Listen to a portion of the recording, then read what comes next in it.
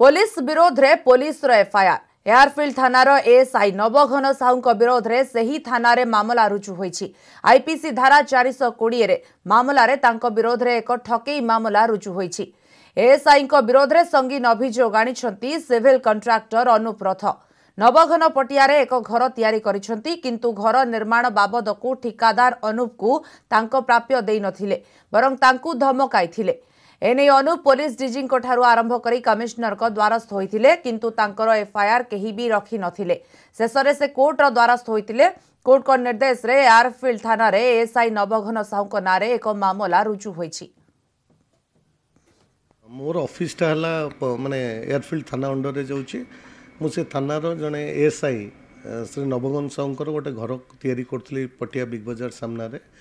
ମୋର ପଇସା ସେ ବାକି ରଖିଛନ୍ତି ପଇସା ନ ଦେଇକି ମୋତେ ବିଭିନ୍ନ ପ୍ରକାର ଧମକ ଦେଉଛନ୍ତି।